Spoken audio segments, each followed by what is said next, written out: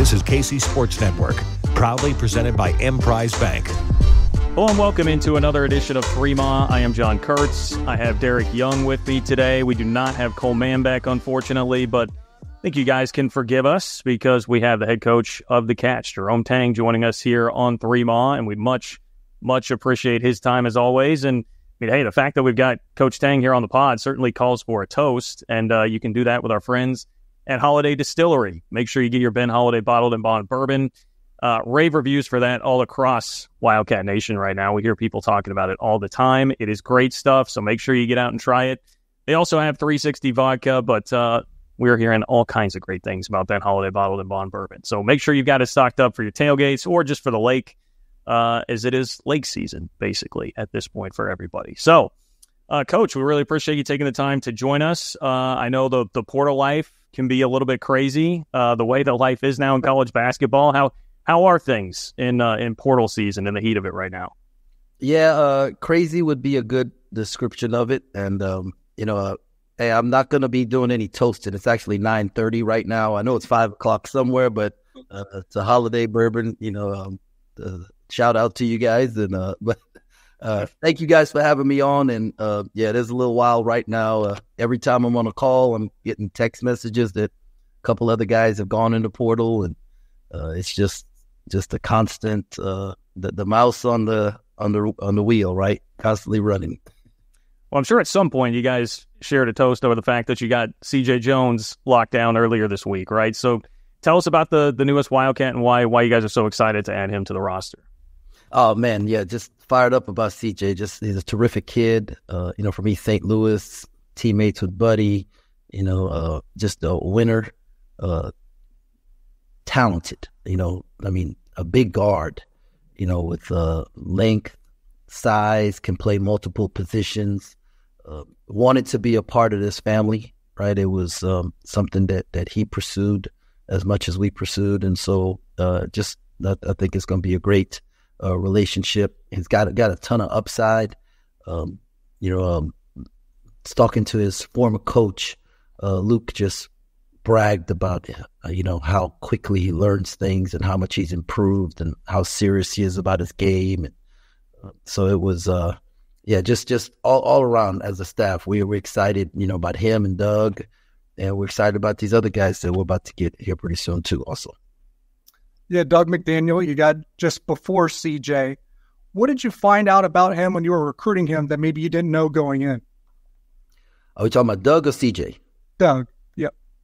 Um, man, uh, you know, I watched Doug in high school, so you know, you had some some things there. Doug, man, is just his family is like they, they, he has this core family group that's uh, just incredible. His mom, you know, Don is stepdad Anthony and his his aunt Dana and grandpa Skip, just just terrific people, man. And they've got this core there that's that's really really special, and and they support him, and he loves them, and the pride he has of being from where he's from, and you know how he wants to represent them in, the right way, and and uh, there's a real hunger that he has right now because he won in high school, he won on you know, team takeover, playing for Keith Stevens uh, on the Nike EYBL League, and you know, at Paul the Sixth, and you know, I mean, just just a lot of winning in his life, and going to Michigan and not winning the way he wants to. He's got this fire burning inside of him to, you know, to play in the NCAA tournament, to to to be on a winning program, and you know, have a chance to win a national championship. So that, that's exciting. I know you like to use some of your current players and past players to recruit the the next wave. Can you use Doug to do that as well moving forward? Man, Doug, Doug is recruiting like crazy right now. He's he's on everyone, wants to know what's going on. Uh, you know, giving us evals of players, and uh, he's very much like Markquis Nowell, and uh, you know, just just one of those guys that he just you know he just wants to. He doesn't care. He wants the right people around him because he understands that winning will take care of, of everything what seems from the outside that, and you can correct me if I'm wrong, but that the the portal and the way people approach it has evolved a little bit from year to year. Do, do you have to change anything, or, or have you changed much in terms of how you approach the portal now this year as opposed to last year, and even obviously the year before when you took over? Um. Well, you know, I, I, we didn't like the fact that the last couple of years how long it's take. Well, the first year we didn't have a choice, right? But um, yeah. last year we felt like um, the lingering of waiting to get the whole team together. You know, probably you know we'd probably like to get that done a little sooner.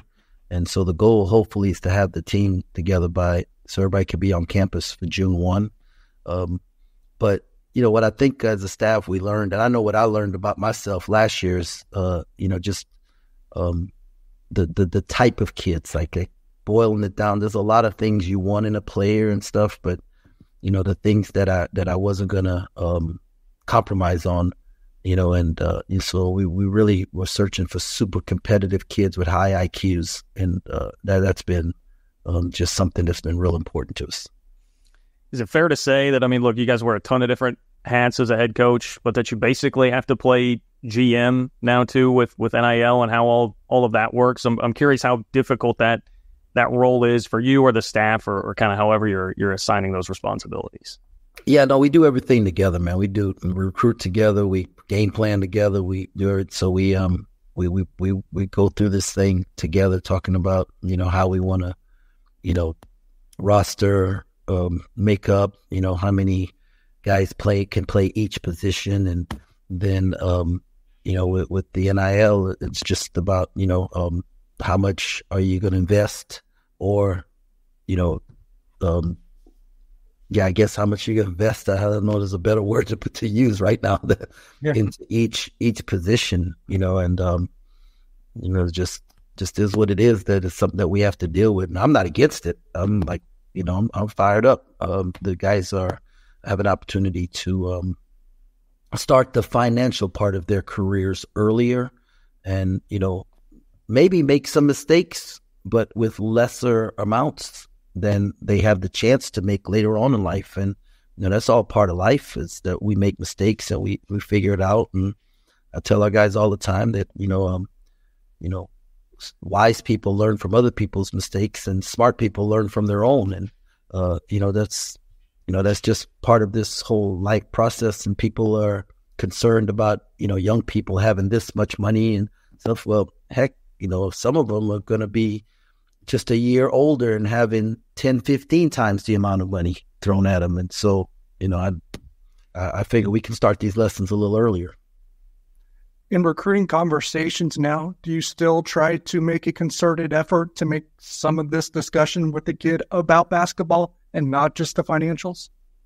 No, I mean it's it's all about basketball. Like that, you got you got these guys uh, have bigger goals and dreams, right? Um, if this is going to be some of their their lifetime achievements, both financially and um, athletically, then uh, you know we're recruiting the wrong guys.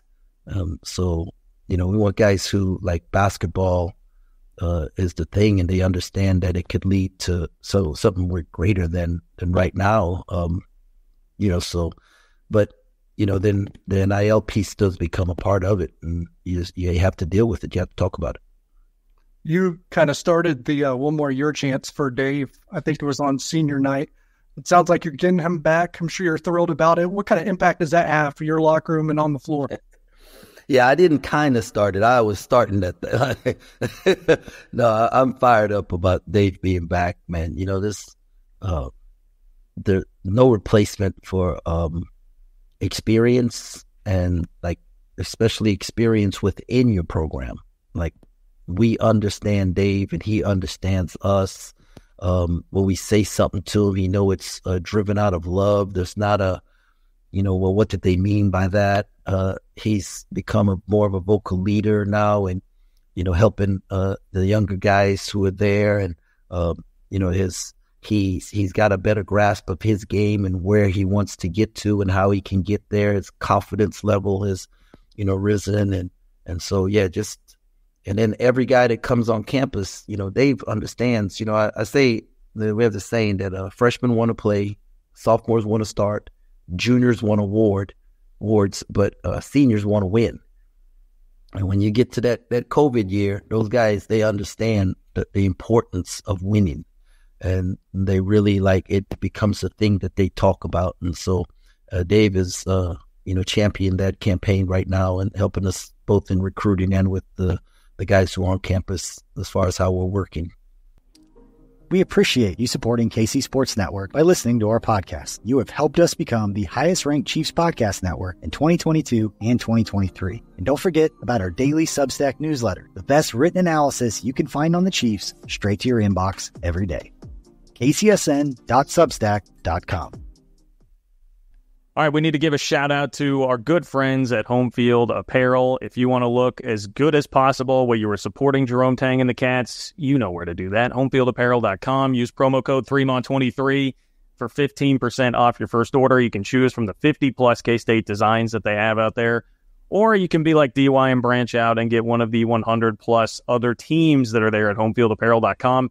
If you live your life online at all, you see homefieldapparel.com everywhere uh, college sports Twitter. It is all over the place. They've got awesome, awesome retro gear. That's what is in, people. That's what the kids are doing. So we're trying to keep you cool here on the show. Homefieldapparel.com, promo code 3MON23 for 15% off your first order. One other returner that we saw really take off in the, the second half of the season was Dai Dai. Uh, where are you seeing his development at right now, and what kind of a jumper are you expecting out of him this year? Yeah, yeah I mean, uh, Dai Dai's done a great job with his body.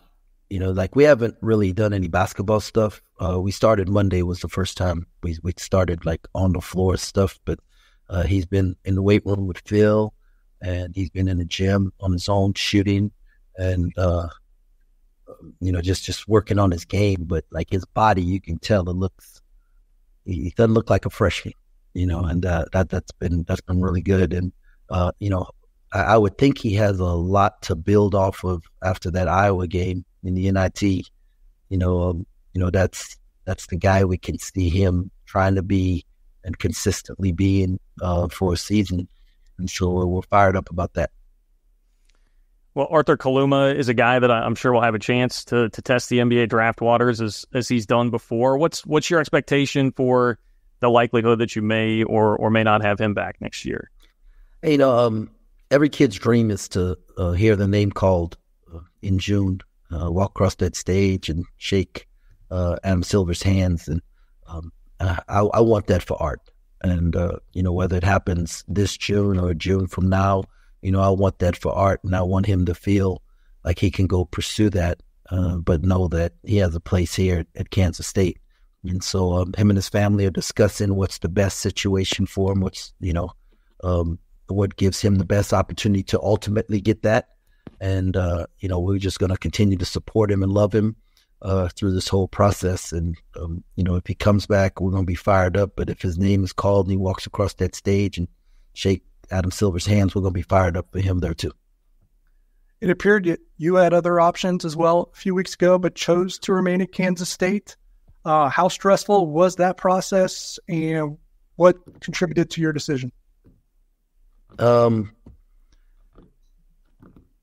but y'all didn't even have any like a, there's supposed to be like some kind of segue into this thing. Like, I know, I know. Just like you just rip rip off the band aid on me right there, man. You know, uh, you know, I would just tell y'all it, it beats the alternative, right? It beats the alternative of, you know, you guys on here talking about me being on the hot seat and, you know, getting fired and, you know, pressure on Gene to do something and, you know, all of that. So um, it, it's uh, it's a blessing to be in that situation. Um, but greatest blessing of my life, um, other than my relationship with Christ and my, my wife, uh, you know, is the opportunity to be the head coach at Kansas State and, and live life with the guys I live life with up and down that hallway. And so, um, you know, we have this, we always have this saying that, you know, don't mess with happy, you know, and uh, go where you're celebrated, not where you're tolerated. And, uh, you know, implemented those two things into my decision making process. And then, uh, I asked myself the question, what is the best thing for my family? And, you know, both of my kids are students here at K State. I asked my son to transfer one time already uh, from Baylor to K State. And, you know, it set him back on his path. He lost some credits and, and all that. And uh, I just, just moved my parents to Manhattan. And uh, my dad's just learned how to get to the bank and the post office without a GPS. And, you know, so, um, you know, that wasn't going to be the best thing for my family. And so you know, there are times in our life we, you know, we use this word joy around our our um, program, and joy for me personally means Jesus first, others second, yourself last. And you know, if I put myself last in all these situations, uh, you know, put Jesus first and make decisions as best for the other people in my life, this one was pretty easy. And what kind of relationship do you have right now with your AD, Gene Taylor, and where does he play a part in all of that? Man, Gene is the best. I'm just uh, absolutely love Gene. We are. Um, I, I, do do believe that uh, he wants the very best for this university. You know, and uh, one of the things I, I, love about him is that um, he's always thinking about you know the big picture right? And uh, he's he's very honest and and frank in how he has discussions about the big picture. And I've I've always been a team guy, man. Like, you know, I do believe the rising tide raises all ships, and uh, I want to see everybody win. And um, you know, this is this thing is not about me, right? This is about Kansas State, right? And uh, that's what I want this thing to be about: Kansas State and Genius. Uh, you know, um, I, I believe our friendship is is growing and uh, you know, just I just I, he's a fun to be around. Uh, he's even you know better to work with, and you know, our staff loves him. You know, and uh, we, we're fired up. I can't like I don't have the words to put in the the way it makes he makes you feel. You know, every day and allows us to do our jobs and uh, be the best version of ourselves. So. Well, I do have to tell you, I heard you ask this the same type of questions with with Matt Mosley the other day, and I, I really enjoy him, like him. But I, I loved the way that you fired back with the list of uh, K State coaches. I was I was yeah. impressed with that. If anybody ever questions your sincerity about K State, man, you you rattled them all right off, and, and how proud you are to be in line there. So uh, just had to tell you, I was impressed with that right off the cuff. you know all those all the K State history that you did there. Uh, well, thank you. you know, I pride myself on uh, being a historian of the game of basketball and um, you know, I, I say this all the time. I'm just like, I just get to steward this this wonderful ship and program for a short period of time, you know, and uh, I'm I'm honored to do it, man. There've been like great great men that have come before me, and they're going to be great great men that are going to come after me, and I'm just thankful to be a small part of this, and um, and I I hope people understand that this is not about me. This is like this is about Kansas State University and what a wonderful place it is and and uh, what a terrific basketball history it's had. And our, our plan is to you know build on that great history. Well no obviously a part of winning in college basketball today. I mean we've talked about it nil and that's that's going to be a huge part of anywhere that you're at. I mean how how well has k-state been able to step up and just how well supported do you feel in in that area right now to be able to go go get the kind of dudes that you need to win at, at the level that you want to win at? Yeah, no, our, our um our, our K Staters have stepped up and uh, they're they're doing a great job, and uh, you know, um, not just for us, but for, for all the programs, and and for me, it's um, you know, I, obviously I know that we need a certain. Well, I thought we needed a certain number to get, but this thing is crazy. I was just like the numbers are ridiculous right now, but I mean, I, I want to see all of our programs have what they need in order to be able to be successful and NIL has filtered through every um, athletic program on our campus. And so I, I continue to encourage. Somebody's getting barked at over there. Um, you know, I continue to encourage uh, everyone to, to, to keep being a part of the grassroots um, program that we have going on, and and uh, everything matters and everyone matters, and because uh, because all of our programs uh, can be really successful. And I'm I'm very thankful for what's been done already, and we just got to keep it rolling. And uh, obviously, I don't think that this thing is sustainable. well, a long period of time, but over the next two or three years, if we can hold down the fort, we'll put ourselves in a great position to when they do put some guidelines on this thing to just continue taking this thing to another level. Is there any takeaways or learning moments that you had from last season that you're going to use to build or shape your program moving forward? Um, yeah, well, like, um, you know, our our buy games, we're gonna um, we're gonna do our very best to run the score up. That's what, you know. I mean, like you look at what happened um, because you know just just the, the, a lot of a lot of learning stuff, but I'll tell you immediately I learned that um, we can't just win you know, the buy games, you, have got to win them convincingly. So there's got to be a different approach. Um, uh, you know, there's not a, you know, sometimes I felt like we learned how to win close games, uh, but then it hurt us in the the net ratings and stuff. Even though it allowed us to learn how to win those close games, so we won some really good games later on that were good wins that were close. Uh, but the overall picture in the net, it it hurt us. Um, you know, so so that's something that I think will put a, a greater emphasis earlier in the year of you know really um, you know not just trying to win games, but you know um, really making a, a statement early. Um, you know, hopefully that that pans out well. The goal is to obviously to win, but like you know, you see that there's there's some added incentives for for some of that. Um, then, you know, um, you know, you can always go back and forth, guy. You know, could, could we have had the same record if we played the young guys more? You know, um, you know, we, we go back and forth on a lot of things, but um, I thought two years ago we had enough and everything fell in line. I mean, we hit lightning in a bottle. Nobody got injured. Put it together and you know was able to make the run. I thought last year to start the season, you know, we had enough, and then life hit us, right? And um, we lost some guys, and um, then you know, we just just ultimately didn't have enough because of that. Um, this year, the goal is to have more than enough so that we can sustain uh, an injury or a loss of a guy uh, if that should, should happen. And last one for me, because I know you got to go get more dudes eventually. Uh, but how does the uh, 20 game conference schedule play into it now? And are you a fan of that?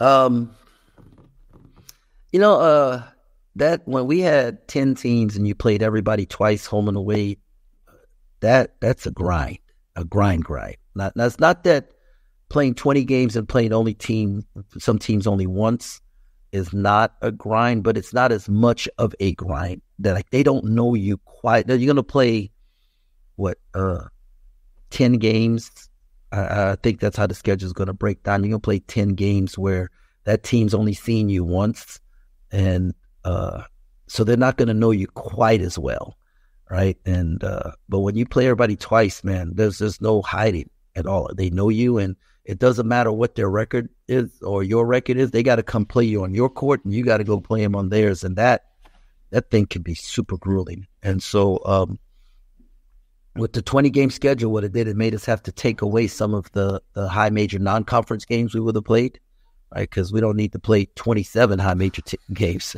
you know, and so that that changes your scheduling a little bit. But excited about the teams that are coming into the, the conference. Um, you know, with what uh, the teams that came in this past year added to the conference, and now we're getting four more really high level basketball schools into the conference. Really excited about that. You know, Coach, well, what you were reminiscing a second ago about last season kind of jogged my memory, and you think about just tough luck throughout the year. I mean, Ques Glover dealing with a couple of injuries there. Just what what was the recovery like for him, and and where is he at right now? Um, yeah, no, it was uh, that young fella is um, he's he's very caring. Like like he's super aware of what's around him and uh, like what his impact could have been to the team. And you could tell it really bothered him all last year about him being hurt. And to watch him like work hard and come back and be healthy and then go for a couple days and then it get injured again and just um, you know how much it how much it, it hurt him. And it wasn't because he couldn't play like i mean that was part of it but i could tell he was hurt that he couldn't help us.